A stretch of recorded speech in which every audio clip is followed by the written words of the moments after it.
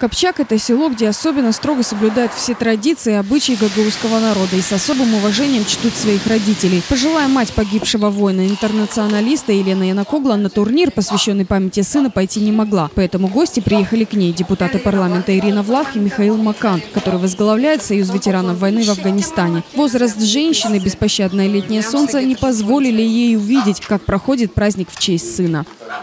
Пришли утром и туда, чтобы ходили туда. Ну, так жарко, я не могу. Не, не могу даже там э, на двор иду и так слабый стал.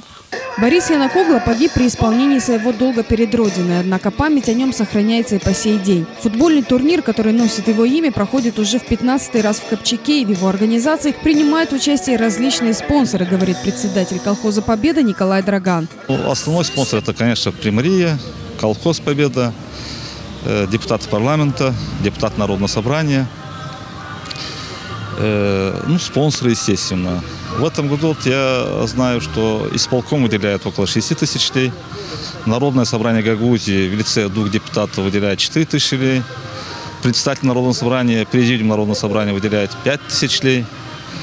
Э, депутаты парламента от фракции коммунистов они выделяют 7 тысяч колхоз «Победа» 5 тысяч и Приморье 5 тысяч. С миру по нитке собирают односельчане погибшего героя средства на организацию турнира. Ведь гости приезжают из разных стран – Болгарии, Украины, Беларуси и других районов нашей страны. За 15 лет он стал одним из самых значимых праздников села. Дорогие друзья, позвольте мне сказать, что в первую очередь я восхищен селом Копчак и восхищен организаторами этого турнира. Нигде в Республике Молдова никогда на таком высоком уровне, уровне не проводилось такое мероприятие.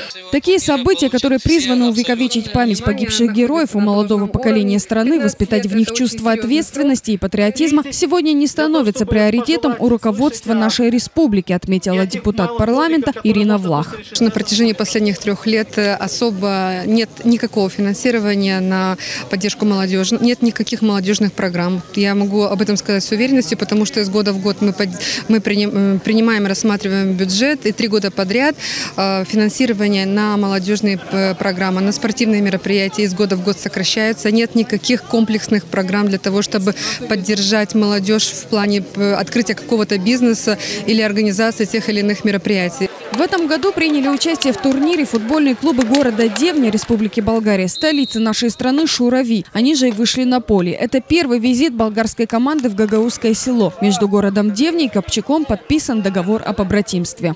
Ние приехме с радост да дойдем тук да играем на турнира и се радваме, че сме тук. Играта мисля, че е равностойна.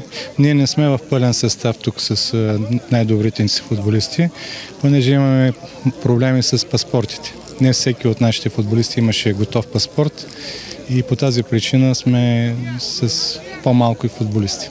Праздничный турнир шел практически весь день. Также впервые принимала участие команда из села Бежгес и Копчакский Колос. Истинным фанатам футбола было на что посмотреть. И самым долгожданным для гостей и традиционным для жителей Копчака стало состязание в скорости и способности управлять одними из самых упрямых животных. Скачки на осликах – одна из любимых забав копчакцев, но одно из самых серьезных соревнований. Там тоже есть победители и побежденные, которых наградили призами и подарками.